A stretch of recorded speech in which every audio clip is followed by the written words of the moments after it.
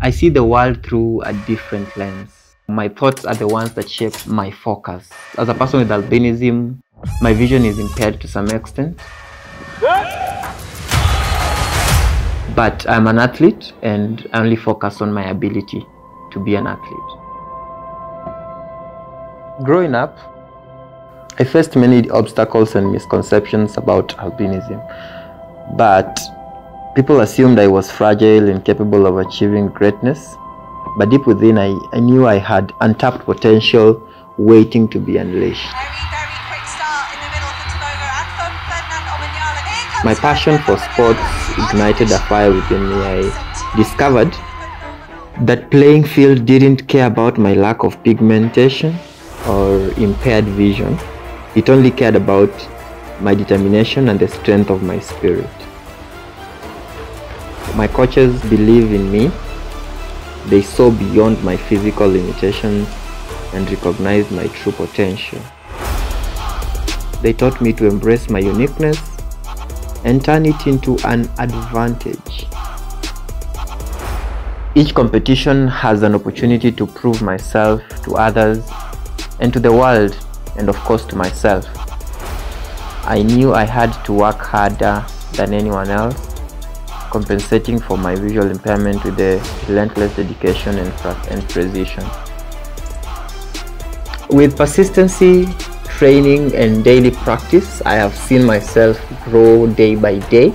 This is a representation of the human spirit that you are you are there and ready to fight. It's an embodiment and a representation that anything is possible if you dare to dream and you know go for it.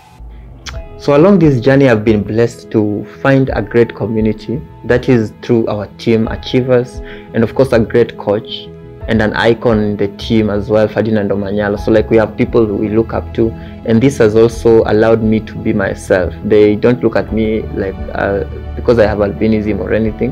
We are all athletes, and we go there to compete, uh, which is a beautiful thing that allows us to just embrace a diversity and also preach inclusivity in in sports as well.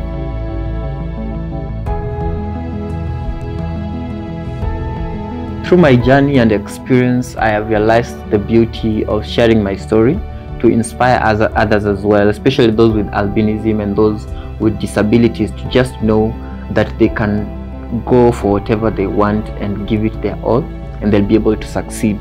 That I want them to remember and know that their abilities far outweigh the perceived limitations.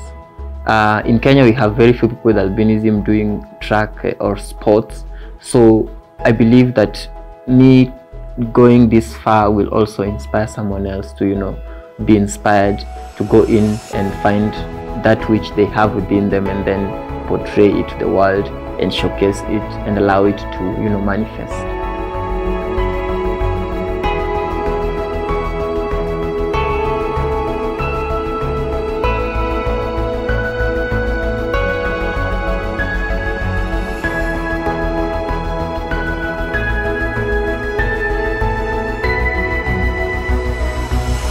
So today I stand here as a testament to the power of focusing on ability. You see, I've faced a lot of challenges along the way, but the reward has been immense. As a person with albinism, albinism may not define me, but my abilities should do. So as an athlete, I'll continue to put my best foot forward and keep redefining the society's expectations of what certain people should and should not do.